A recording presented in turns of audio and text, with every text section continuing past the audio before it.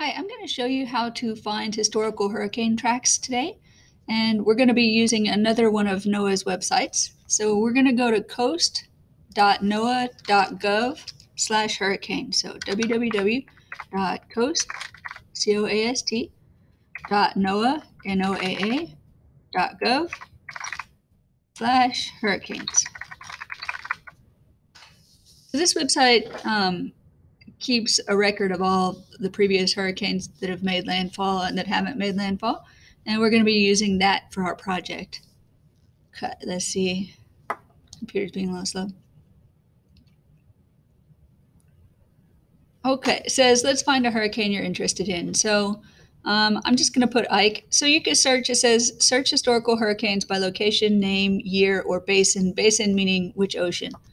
Um, we're interested in the Atlantic side because the Pacific side hurricanes don't generally cross over to here. So um, let's say I don't remember what year Ike was. It was 2008, but let's say. Okay, so I'm going to type Ike.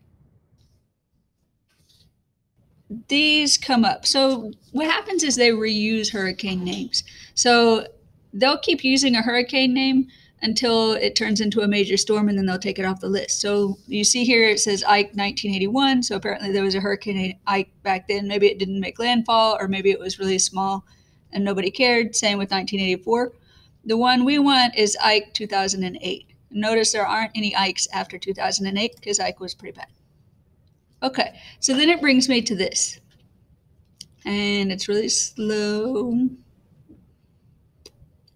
Eventually it'll bring us a path. Maybe I have to click on that. They changed the website recently. It's not as user friendly. Okay, so you see this is our path and the, the color changes with how strong a storm it is. So um, green, I think, says tropical storm. When I hover over to yellow, should be like a category one. Orange is a category two. Um,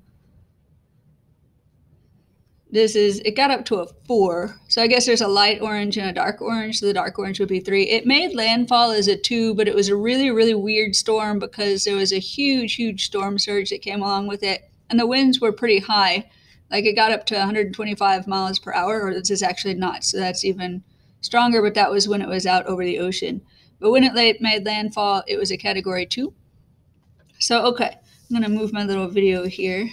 Okay what we're going to use this website for is we're trying to find the the this this track because you're going to put it on a hurricane tracking chart.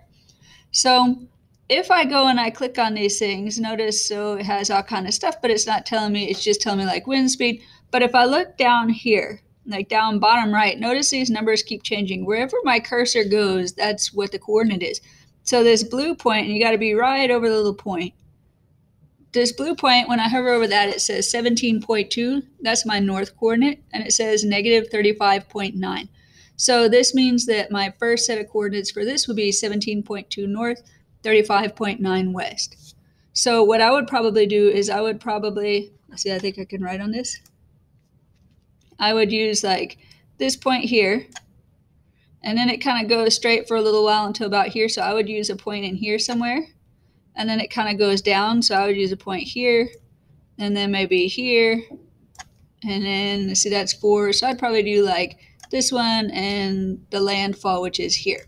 So that gives me six points. So what I would do is I would find the coordinates for each of those, and then I can use that to put on a hurricane tracking chart. So this one we said was 17. I guess I can't type on this. Okay, 17.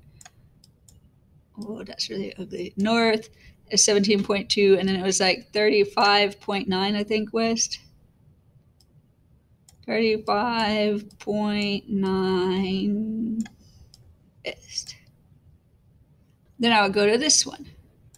So i would need my little thing to go away because okay. Uh, i'm not sure. Oh there we go. Okay. So this one if i hover over this point this seems to be 23.9 north 57.8 west. I'm still looking down at these coordinates right here. So then I would write that down. And then I would go to this point. And this point looks like it's 21.5 north, 75.1 west. And then this point and this point, and then where it made landfall. So that's what you're going to do. You're going to go into coast.noaa.gov slash hurricanes. You're going to enter whatever hurricane that you're interested in tracking. And then you click on that hurricane and it gives you this tracking chart. Now you can zoom in. There are other ways to do this. Like you can get this super detailed report and it tells you all this stuff. Like you can get it to download into like an Excel file. But they have tons and tons of points and we really just want like five or six or seven. We don't we don't want it we don't want a lot of them. Okay. Da da da. Oh, see, my track went away. But see, from this, if I only knew these points, that still kind of defines its motion, right? It went from here to here to here to here to here and then up. So when I click back on that, and it comes up like five minutes later, there we go. See, it really kind of, you don't need all of the points, you just need a few.